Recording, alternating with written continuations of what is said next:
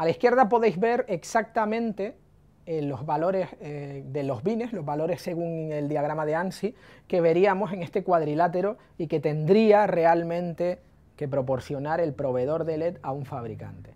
¿Esto por qué viene bien? Pues viene bien porque según el tipo de fuente que utilicemos, por ejemplo, vamos a hablar de las fuentes eh, LED de Dedolite, Dedolite incluye en el interior de la carcasa, incluye siempre, además del número de serie, el número de BIN. Eso significa que si nosotros tenemos un plató con distintas fuentes del mismo fabricante, en este caso de Dedolite, y pasado mañana, cuando hayan pasado 20.000 horas o las que sean, el LED se ha agotado y cambiamos ese LED, podemos especificar qué bin queremos, porque no todos van a morir al mismo tiempo, no todos habrá que cambiarlos al mismo tiempo, y si de repente nos viene un bin que en ese momento será de un LED mejor, en realidad será mejorado y demás, pero nos dará un color distinto.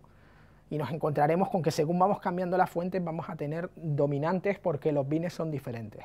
Pues bien, sabemos de cada uno de ellos el número de bin exacto para poder pedir el recambio con ese bin.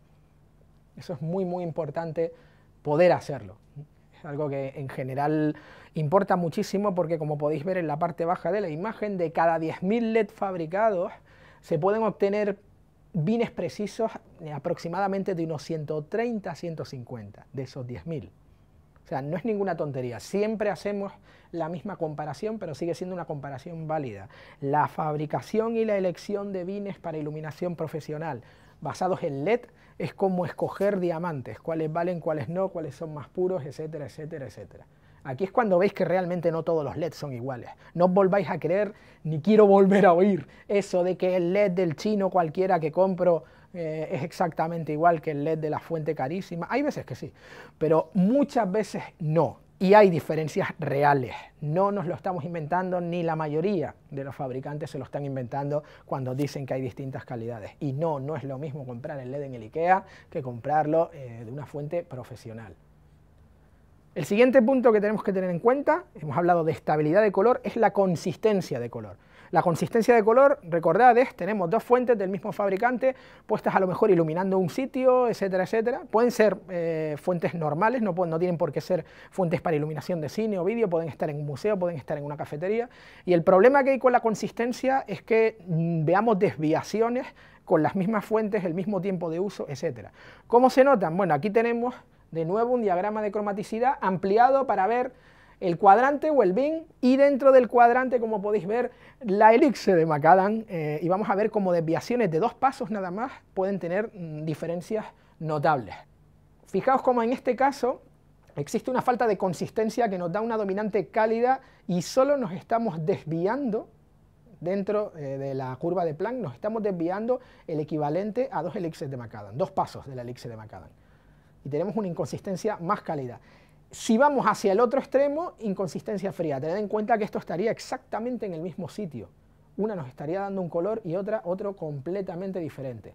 Lo mismo pasaría con la desviación de la curva de Planck. Si la desviación, eh, si habláramos de desviación de curva de Planck en vez de cambio de temperatura de color correlativa, fijaos de nuevo dos pasos dentro de la elixir de McAdams, pero en este caso hacia arriba positivos tendríamos dominante verde y hacia abajo dominante magenta. Es decir, que en la imagen que vemos ahora podemos ver varios efectos de esto. Primero, tenemos las fuentes recién compradas y tenemos los dos sofás que veis ahí iluminados y todo es maravilloso y genial y bla bla bla. Los sofás no es que sean nada del otro jueves, el cuadro del fondo es un horror, pero eh, básicamente está bien iluminado. En la parte central tenemos lo que pasa cuando han pasado X años. Sí, pues bueno, ya no nos da igual, los sofás todavía parecen más horribles, el cuadro se ha quedado igual de feo, pero vemos que efectivamente se mantiene la consistencia.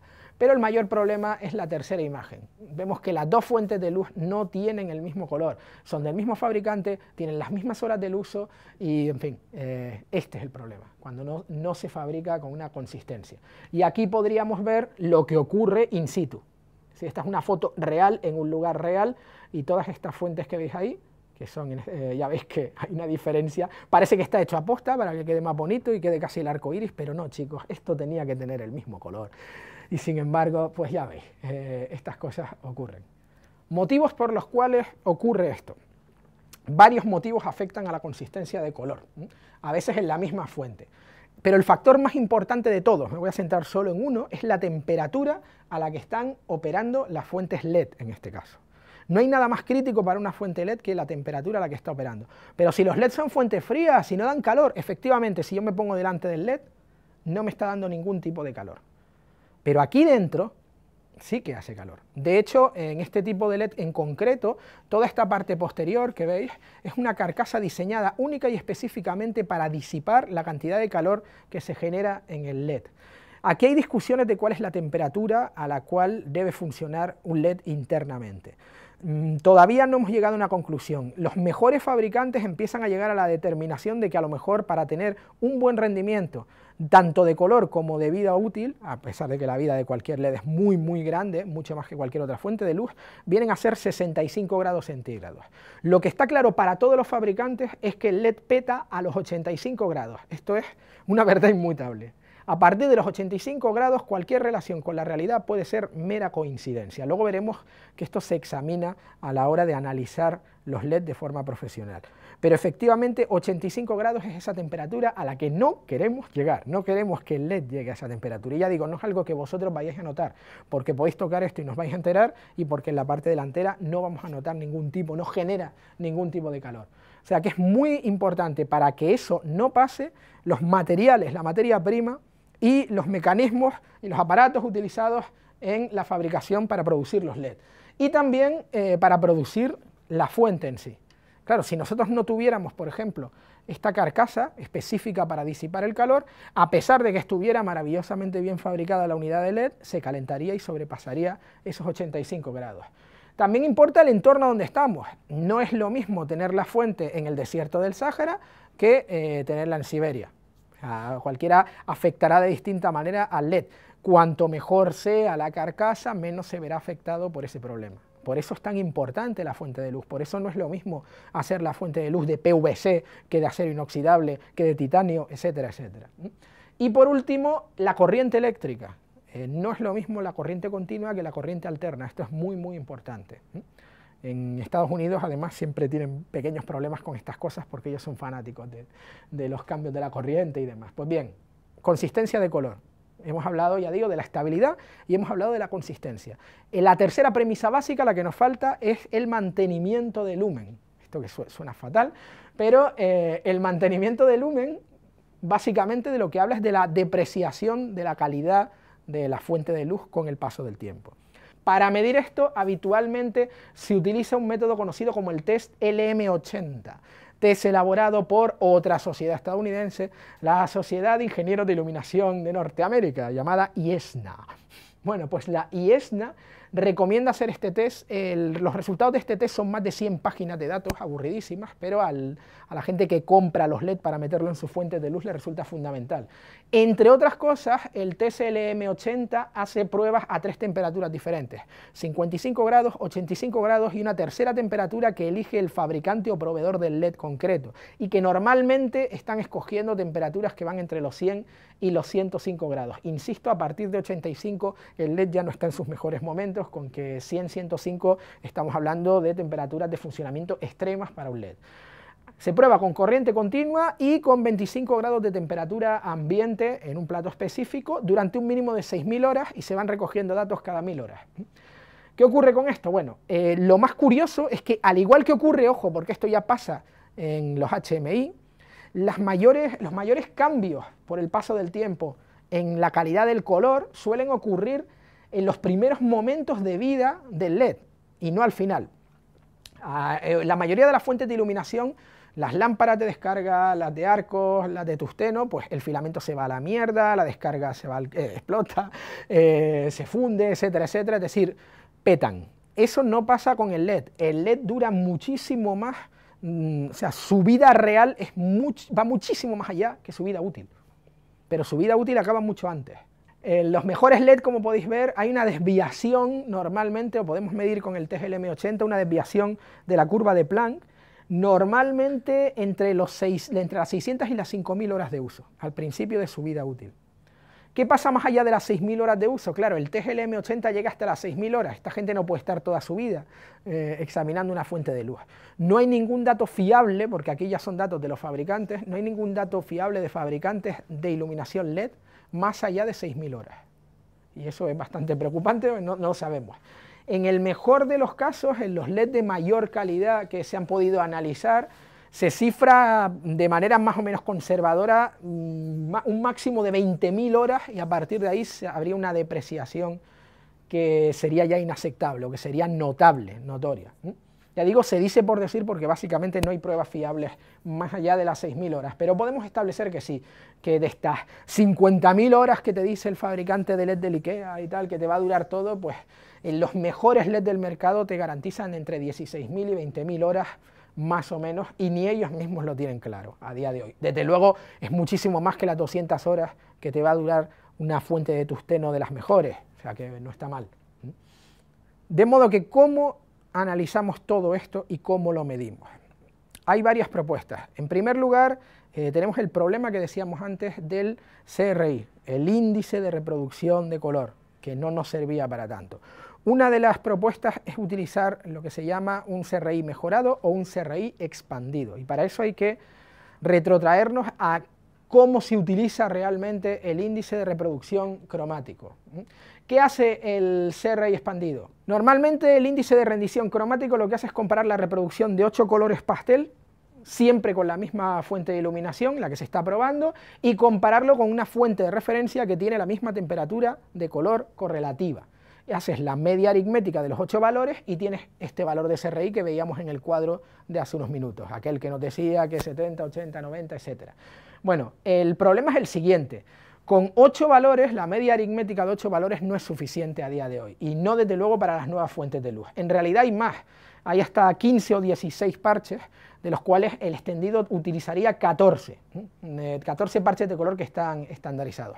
Pero realmente los últimos 6 es que no se usan casi nunca. ¿Cómo se pueden utilizar? Bueno, se puede, luego veremos qué instrumentos para hacerlo. Muy, muy, muy importante, en lo que llaman CRI extendido o CRI mejorado, es la medición del valor número 9, ese que veis a la izquierda de la imagen que pone R9. ¿Por qué? ¿Por qué es tan importante? Bueno, porque es el valor que corresponde con el rojo fuerte y normalmente el mayor problema del índice de rendimiento cromático es que no nos sirve para medir colores muy saturados.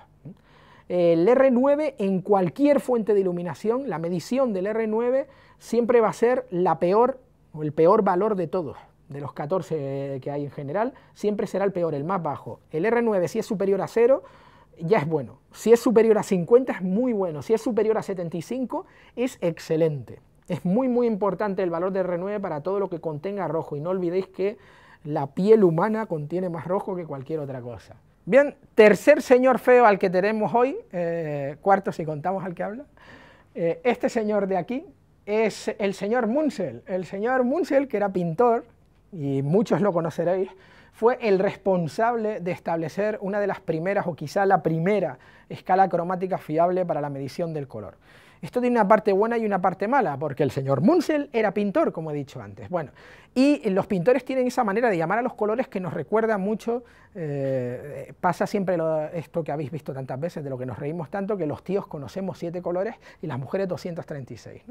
Pues bien, eh, Munsell es pintor y los pintores son como las mujeres, conocen un huevo de colores que yo nunca he conocido en la vida.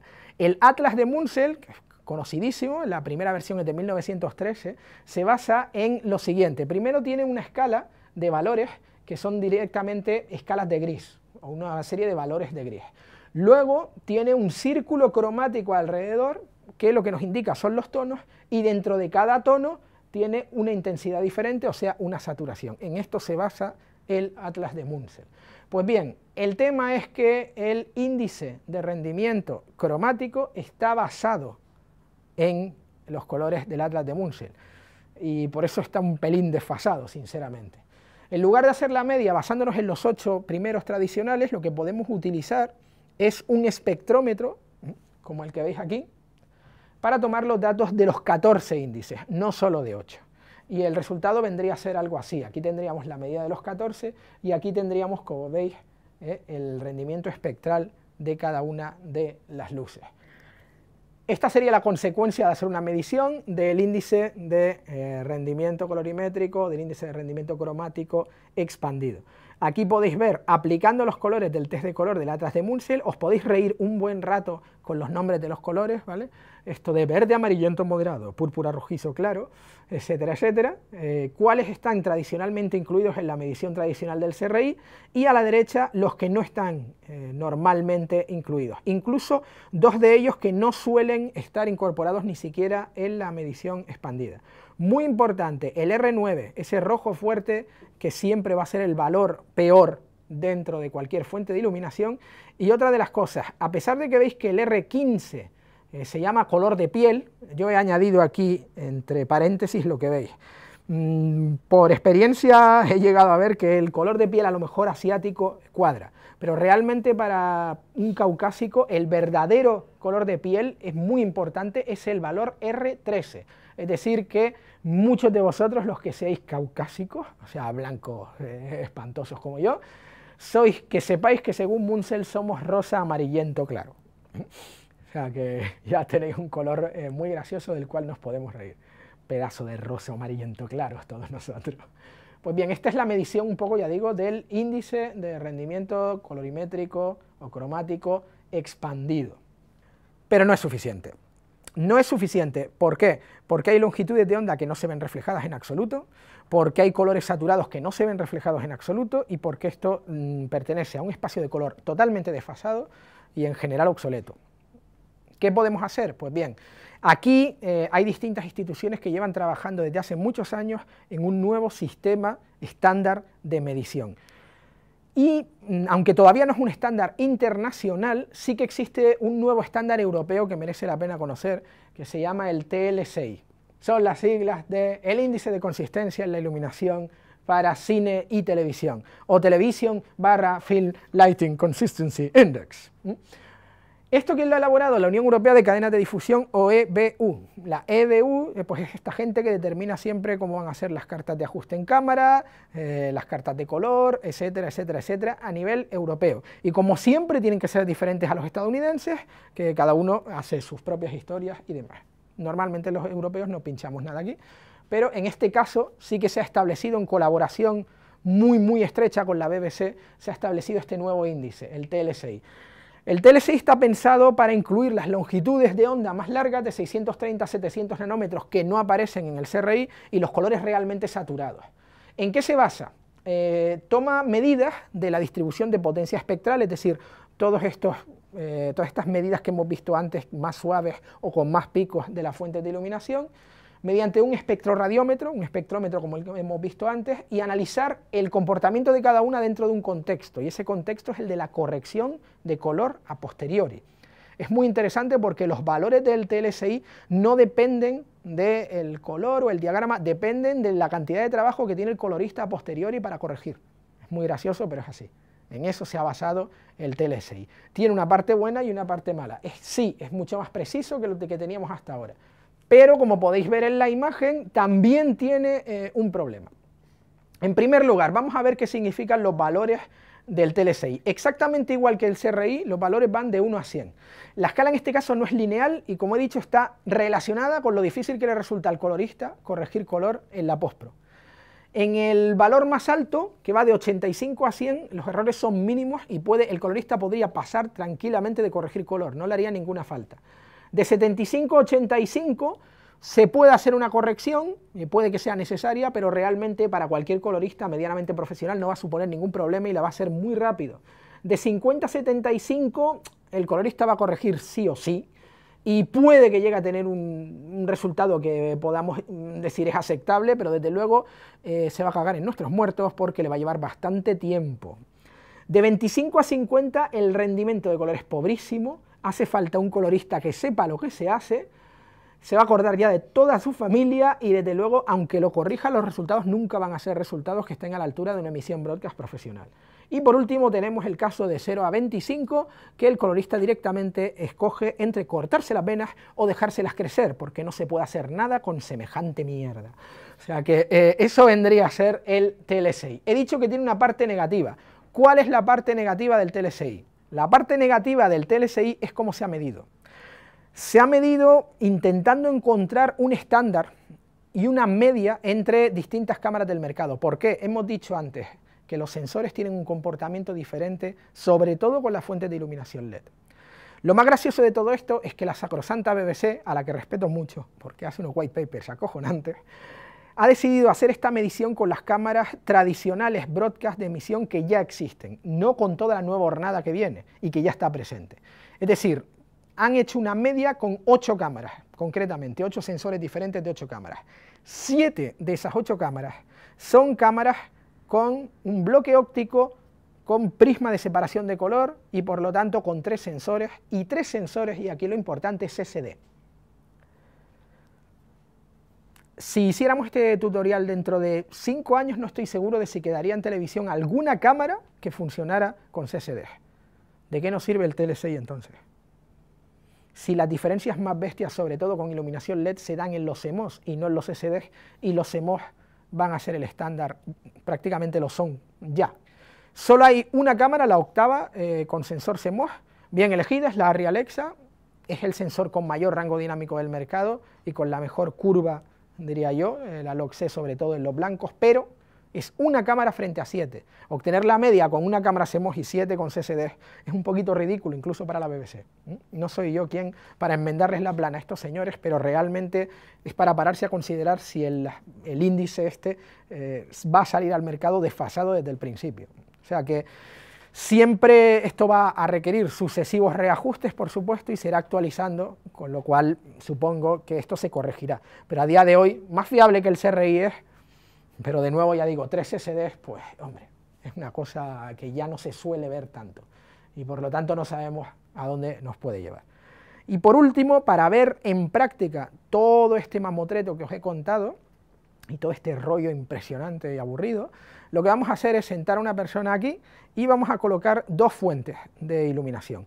Una fuente tradicional, es decir, una fuente de tungsteno, y al lado una fuente LED. Y pondremos dos fuentes LED de distintas calidades para que veáis cómo y cuánto se nota la diferencia cuando tenemos esa situación tan complicada que es relacionarla con una fuente de incandescencia que en CRI notaría por lo menos un 99. Y en TLSI, según los últimos análisis, esta en concreto da un 100. Eh, que cualquier fuente de luz artificial, sea cual sea, y esta es la mejor del mercado, de 100, me hace no fiarme demasiado del TLSI, sinceramente. El 100 solo debería dar el sol. Pero bueno, vamos a ver esto para que veáis realmente en la práctica qué significa todo este rollo macabeo que he soltado. En esta primera imagen estamos utilizando una combinación a la derecha de una luz de tungsteno y a la izquierda de una fuente de iluminación LED de muy buena calidad. Eh, podéis ver como aunque haya pequeñas diferencias, en general podemos tener una equivalencia entre una y otra. Para eso es necesario que el índice de TLSI de la fuente LED sea muy elevado, que la consistencia del color sea buena, etcétera, etcétera, etcétera. Todo lo que hemos venido contando en este tutorial. Ahora hemos cambiado la fuente de iluminación LED por una fuente de baja calidad con un CRI o un TLSI notablemente inferior. La fuente anterior, para ser exactos, tenía un valor de TLSI de 97 y un valor de CRI de 95 y en este caso tenemos una fuente que no sube de 84. Se puede notar claramente la dominante eh, tirando un poquito, un poquito hacia el verde, a veces un poco verde, un poco magenta, en la imagen de la izquierda, mientras que en la derecha seguimos teniendo la misma fuente de incandescencia. Como podéis ver, la calidad de la fuente de iluminación, en este caso del LED, sí importa, y mucho, sobre todo si vamos a combinar distintas fuentes, cosa que hacemos últimamente todo el tiempo por motivos de logística o de presupuesto.